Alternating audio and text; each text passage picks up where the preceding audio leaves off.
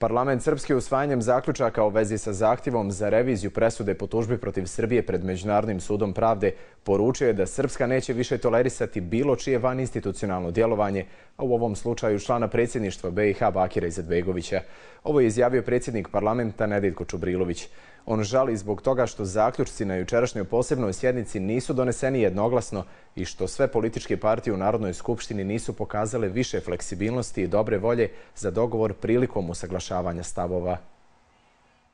Ovo je posljednji trenutak da se pošalje upozorenje da se instrumenti odlučivanja u skladu sa Ustavom i Dejtonskim mirovnim sporazumom vrati, vrati u institucije sistema ove zemlje. Očekujemo da međunarodna zajednica u tom smislu, a u skladu sa zaključkom posljednje sjednice Savjeta za primjenu mira, preduzme korake u zaštiti Dejtonskog sporazuma.